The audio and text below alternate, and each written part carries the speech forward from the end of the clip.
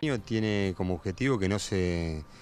eh, dispongan más residuos pesqueros, que no se tiren más residuos pesqueros dentro del ejido de Rawson. Nosotros, este es un objetivo que compartimos con el municipio de Rawson, lógicamente creemos que es muy importante darle una buena disposición final o mejor aún que sean utilizados para el desarrollo de una nueva industria. Eh, en esto estamos trabajando desde que asumimos y realmente quiero destacar el, compromiso y la responsabilidad de la industria pesquera de, Rawson que eh, ha avanzado y, está haciendo, con este acuerdo ha, firmado un aporte, eh, un aporte de cada una de las, em, de las, empresas para sostener de alguna manera o para financiar el, funcionamiento de la planta de harina de, de, pescado de Puerto Madryn, de harinas patagónicas. La idea es que la planta de harina sea la que reciba el residuo pesquero de Puerto, de Puerto Rawson, logrando un desarrollo productivo, ¿sí? con más de 30 personas trabajando en harinas patagónicas y también logrando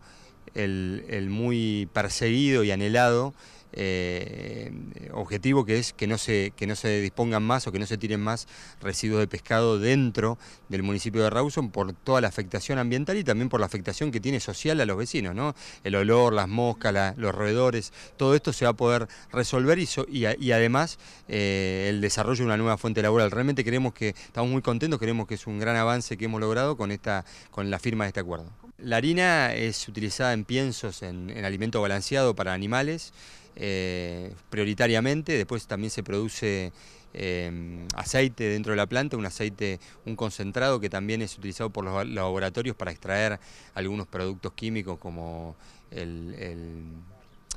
eh, temas de, para la salud, los omega 3 y algunos, algunos aceites esenciales y, después tienen algunos otros productos ¿no? que lo están produciendo en baja cantidad pero que se pretenden desarrollar, que son productos todavía más interesantes, que la, realidad habría que preguntarle a ellos bien en detalle, pero, pero sí definitivamente con estos dos productos, la harina más el aceite, eh,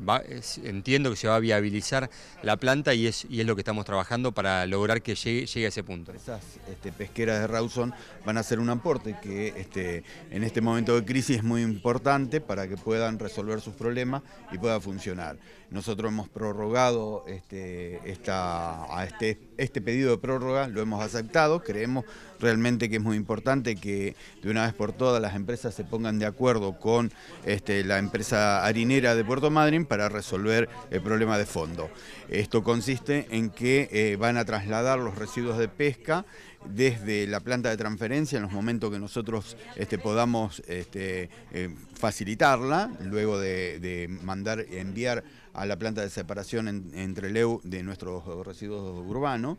Eh, allí eh, se va a condicionar la planta hasta tanto las empresas han comprometido una inversión en Puerto Rawson para hacer este tipo de planta de transferencia que termine en definitiva con una actividad que es muy importante para Rawson, que genera muchos puestos de trabajo y hoy justamente la intendenta mencionaba de que este año no ha habido un solo pedido de este, ayuda para los vecinos en cuanto hay trabajo en la pesca, los vecinos